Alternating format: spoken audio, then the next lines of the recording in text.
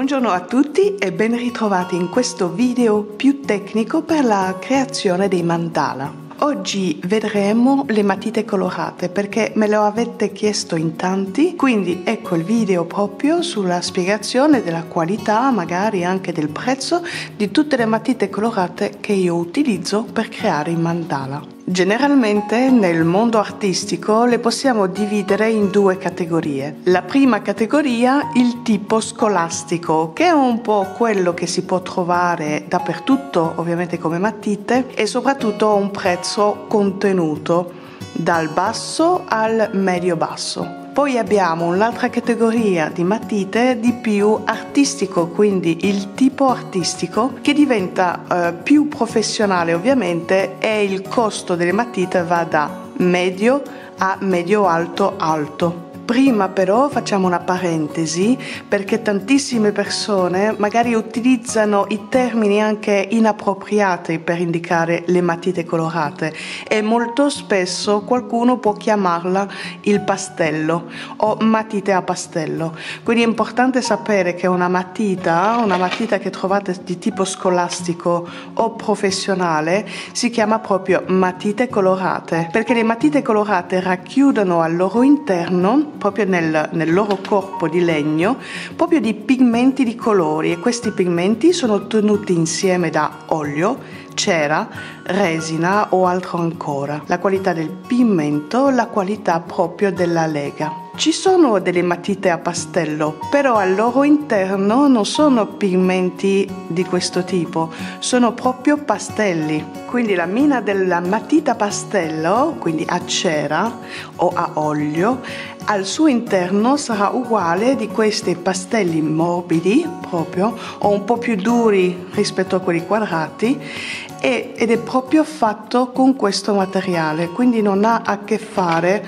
con quello che troviamo classicamente come matite. Quindi è importante utilizzare il termine giusto, matite colorate.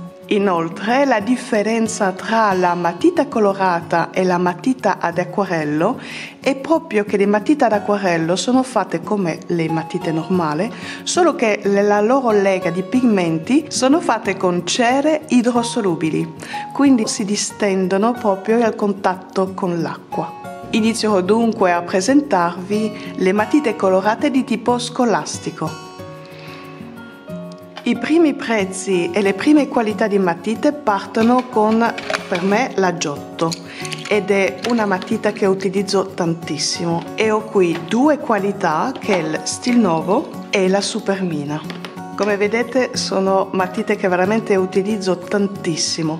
La differenza tra il Stil Novo, che è questa della Giotto, e la Supermina, una nella qualità della punta e della lega del colore e due è il diametro proprio del, della matita colorata. Abbiamo un diametro sul stil nuovo di 3,3 mm, invece sulla supermina un po' più grande 3,8.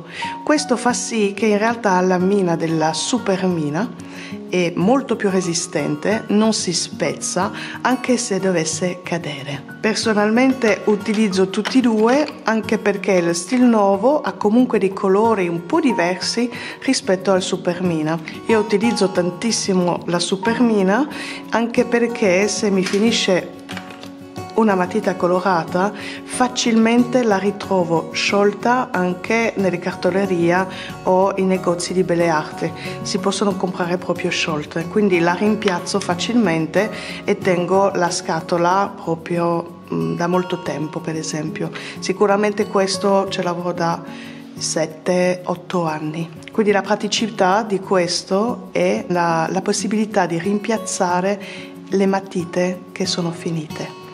Abbiamo un prezzo iniziale di Stil Nuovo a 50 matite colorate a 19,60 euro. È molto valido, comunque si può iniziare tranquillamente a disegnare con questo tipo di matite. Invece il Supermina 36 colori, che è questa scatola di latta che in realtà è molto pratica perché è resistente, questo viene 24,53 euro, quindi 25 euro per esempio. E abbiamo proprio già una base eh, di qualità con cui iniziare.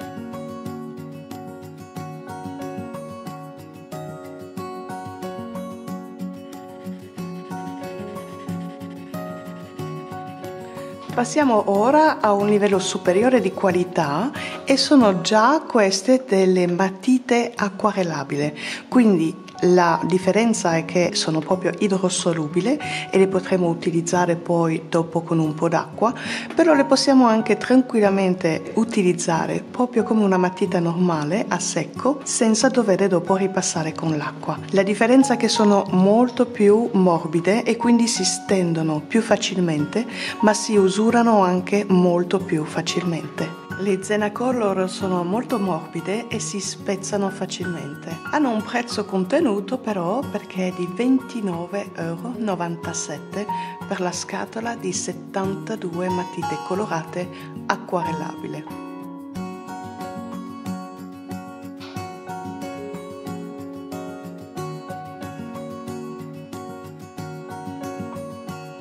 Poi abbiamo le Castel, le Castel Art, che anche questo sono acquarellabili.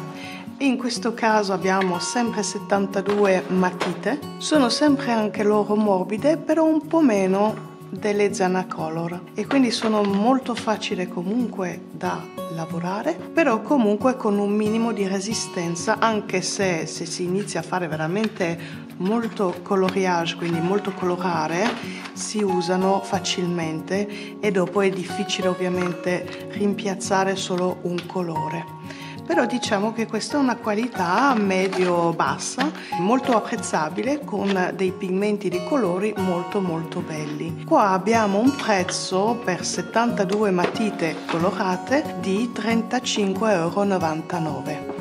È veramente un bel prodotto.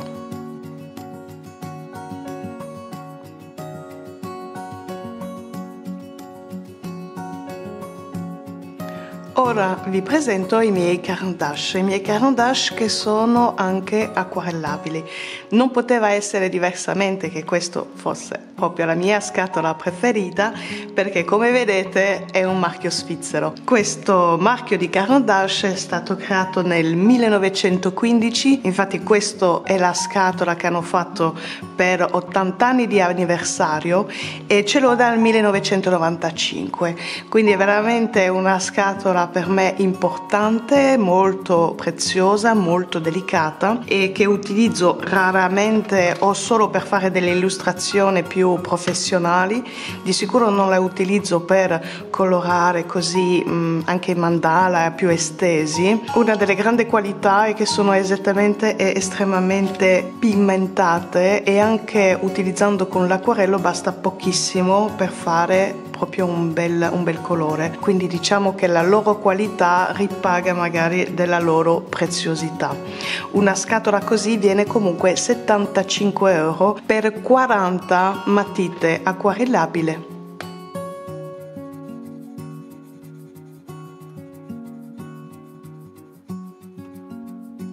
Le ultime matite professionali che vi presento sono le Prismacolor Premier. Queste sono matite colorate professionali, sono estremamente tenere eh, da utilizzare. Io le utilizzo raramente perché personalmente non mi piacciono, sono troppo morbide, la punta si rompe facilmente, infatti io le vediamo eh, che io le ho utilizzato pochissime e um, li posso utilizzare proprio per eh, piccoli disegni, rifiniture, magari se non ho un colore sulle altre anche delle carandash o delle castel proprio utilizzo questi, ma diciamo che per niente è una matita che mi piace, ma potrebbe piacere ovviamente a voi perché siamo tutti diversi sia nel tratto che nel colorare. Io ve le presento comunque perché è un must nella professione, una matita professionale veramente veramente di grande qualità. Una scatola così di 72 matite acquarellabile viene di 139 euro. È veramente un grande investimento. Se avete la possibilità di provarle prima di comprarle per vedere se vi piace o meno, eh, fatelo perché magari è veramente qualcosa di personale. Come le matite magari di Carandash acquarellabile, professionale, che comunque hanno un costo, questo posso veramente andare sul sicuro perché è una qualità che è una via di mezzo tra il morbido e il secco un pigmento bellissimo. Invece questo sono veramente veramente molto morbide. Tra l'altro facendo delle punte che vedremo dopo eh, così affilate che è quello che utilizziamo per colorare spesso e volentieri si spezzano. Quindi è un po' un problema rispetto all'investimento iniziale